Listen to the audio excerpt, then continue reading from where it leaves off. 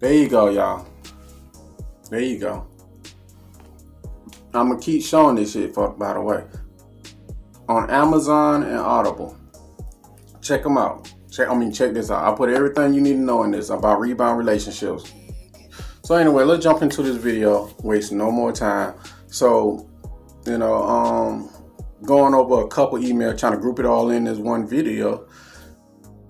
Pretty much the question always comes up to why do my ex after a breakup try to destroy me, ruin me? You know, a lot of time people, the off-brand ass people jump into the off-brand ass relationship trying to, you know, ruin you, emotionally damage you, you know, make you act a fool.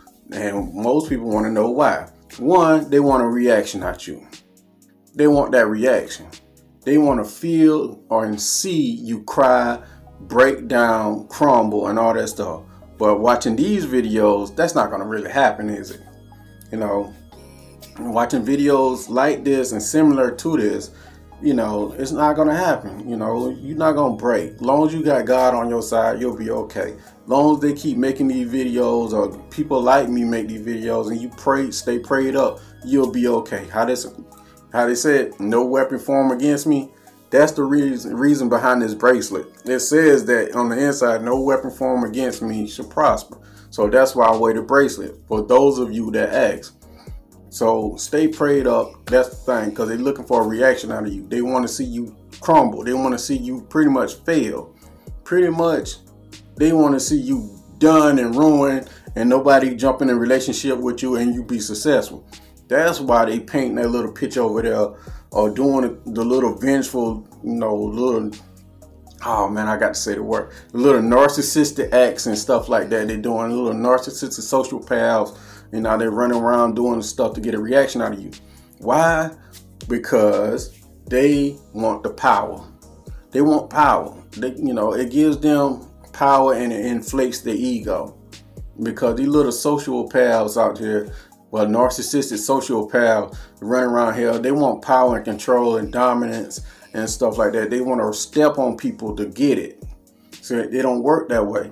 You can't step on people to get power and stuff like that. They want to feel like since you not with me, you cannot be happy. I'm the sun in your universe. You know, everything that you doing is nothing if I'm not involved with it. So that's how they think. The other the reason why they try to destroy you after the fact is because they hurting too. They're not gonna tell this part. They hurting too. Yeah. They're secretly hurting too. And if you hurting and while they're secretly hurting too, in their little twisted, demented mind, they feel like we are suffering together. So therefore, by mentally, we're still together. Because if I cause suffering and they're causing you pain and you suffering from that, and I'm over here even though I'm in a little off-brand ass relationship, appearing to be happy and appearing to the world that I'm living my best life, but behind closed doors, I'm suffering. I don't want to see you move on. So therefore, if I cause pain, chaos, and drama into your life, we suffer together.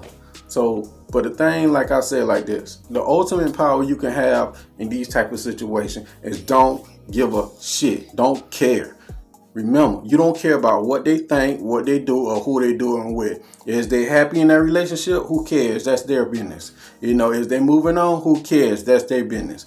Long as God wake you up in the morning, all your fingers and toes move and wiggle and all that stuff, you in your right mind, go create another life and keep growing. You can't stay this way forever. You have to keep going and keep growing. If not, you're gonna stay stuck and you know your life gonna just wither away.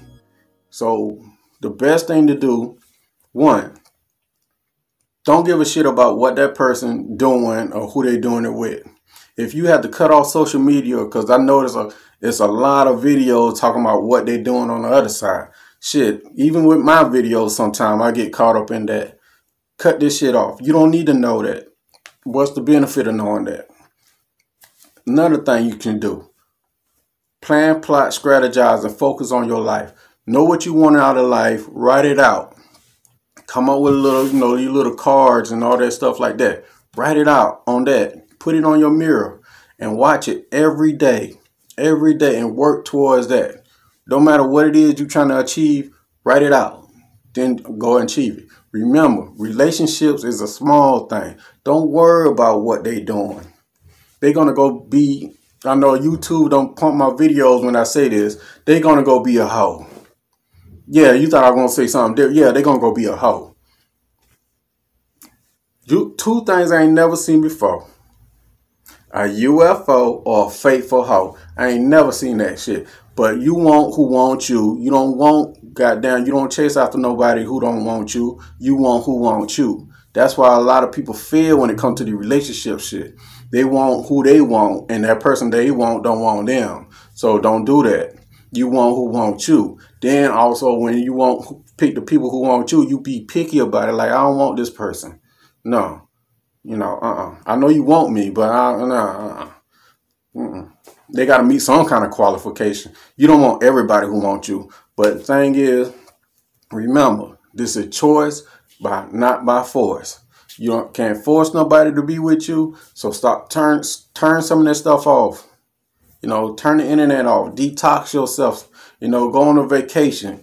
Pamper yourself. Show yourself that you love yourself. Get around some people who support you and love you. If you don't have that shit, love yourself. Pray to God daily. Talk to Him daily. Tell Him your problems and your situation and ask Him for an answer.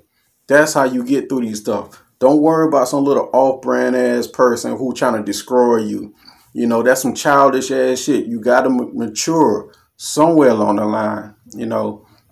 So that's not just the video. If you like to get in contact with me, just to have somebody to talk to and tell tell me what's going on, my email is here. You know, you can text me on on WhatsApp.